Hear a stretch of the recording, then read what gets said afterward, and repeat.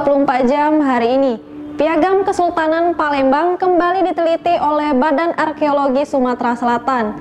Koleksi yang tersimpan di Museum Negeri Sumatera Selatan bertujuan untuk menghindari terjadinya kesalahan dalam menafsirkan isi piagam tersebut.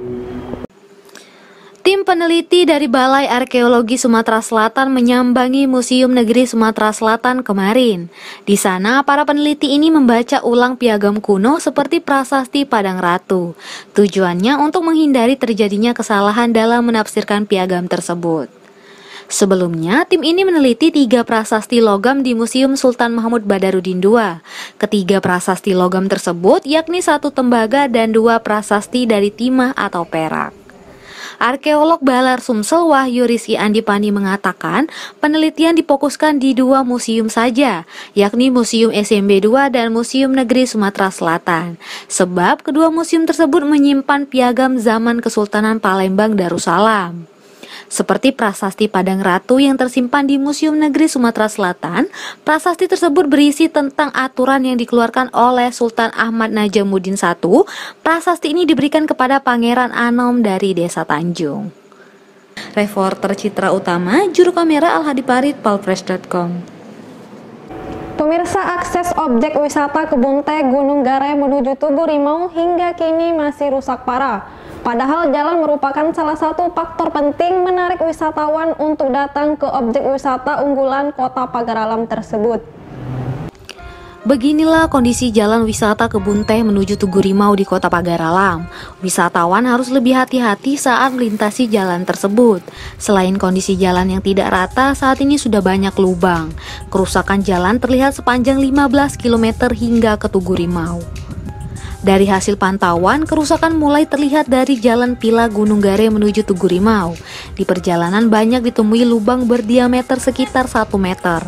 Kenyamanan wisatawan semakin terganggu karena lebar jalan hanya 3 meter, sehingga pengendara tidak ada pilihan lain untuk melintasi lubang. Padahal sejauh mata memandang terlihat pemandangan indah kebun teh, namun pemandangan alam tersebut tidak bisa dinikmati oleh wisatawan. Kepala Bidang Bina Marga Pekerjaan Umum Ahmad Ardiansyah mengatakan perbaikan jalan telah dilakukan 2017 lalu. Namun karena kondisi keuangan hal itu baru akan dilaksanakan 2022. Akan tetapi tidak menutup kemungkinan akan dilaksanakan lebih cepat lagi. Oleh sebab itulah pihaknya menghimbau agar pengunjung lebih berhati-hati saat melintasi jalan tersebut. Perbaikan jalan dari Villa Gunung Gare menuju Tugu Rimau itu pada saat tahun 2017 sudah pernah dilakukan melalui eh, anggaran dana DAK. Eh, akan tetapi yang kami lakukan pada saat itu kurang lebih baru sekitar penanganan 7 sampai 8 kilo. Sedangkan panjang jalan dari Villa Gunung Gare sampai ke Rimau itu kurang lebih sekitar 25 kilo. Total semua yang uh, akan diperbaiki itu masih kurang lebih sekitar 15-an kilo lagi. Reporter dan juru kamera Eko Wahyudi, palfresh.com. Lomba Sang Juara hasil kerjasama Harian Umum Palembang Express dengan Museum Negeri Sumatera Selatan kembali digelar. Dalam lomba sesi ketiga ini, peserta yang merupakan siswa SMA di Sumatera Selatan akan adu cepat menjawab soal berkaitan dengan wawasan umum dan wawasan museum. Pemimpin redaksi harian umum Palembang Express Muhammad Iqbal memaparkan rencana teknis pelaksanaan lomba sang juara yang akan dilaksanakan pertengahan bulan ini. Rapat yang dipimpin Kepala UPTD Museum Negeri Sumatera Selatan Haji Chandra Amprayadi juga dihadiri Asosiasi Guru Sejarah Indonesia Sumsel.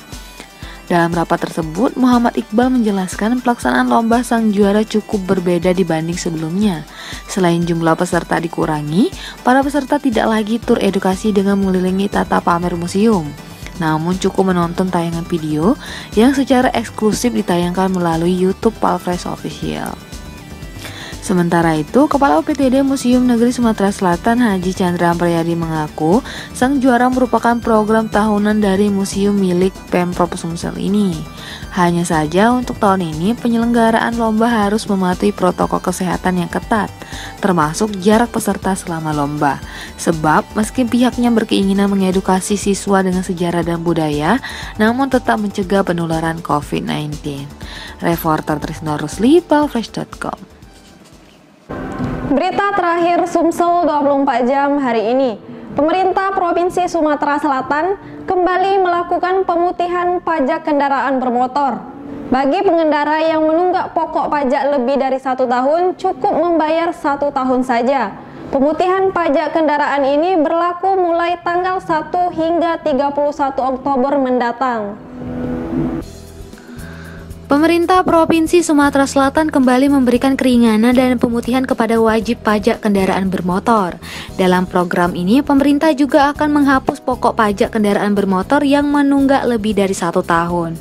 Keringanan dan pemutihan pajak kendaraan bermotor ini dimulai sejak 1 Oktober hingga 31 Oktober mendatang. Gubernur Sumatera Selatan Haji Herman Deru menjelaskan keringanan dan pemutihan pajak kendaraan untuk memberikan edukasi kepada masyarakat untuk taat membayar pajak. Lewat program penghapusan pokok pajak kendaraan yang menunggak lebih dari satu tahun, diharapkan bisa kembali disiplin membayar pajak untuk tahun berikutnya. Dari setahun itu tetap bayar setahun. Ah, ah. Sampai kita sampai 1 Oktober sampai 31 Oktober. Nanti diperpanjang untuk yang kemarin tetap diperpanjang dan ini ada tambahan lagi untuk menghadapi PEN ini. Bahkan pokok pajak yang lebih dari satu tahun cukup bayar setahun.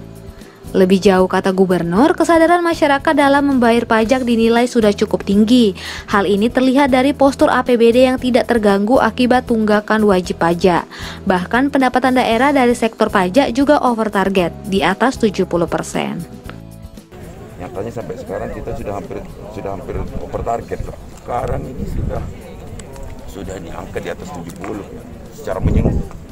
Jadi ini akan menjadi uh, evaluasi kita di setiap saat itu di pelayanan. Jadi bukan pelayanan itu tidak hanya identik dengan pemutihan, tapi bila perlu uh, pelayanan di bola karena inilah yang kita harapkan. Nyatanya kita APBD posturnya uh, tidak terganggu atas kesadaran masyarakat. Terima kasih masyarakat Sumatera Selatan Reporter Trisno Palfresh.com Demikianlah berita Sumsel 24 jam hari ini. Saya Sri Depi, sampai jumpa.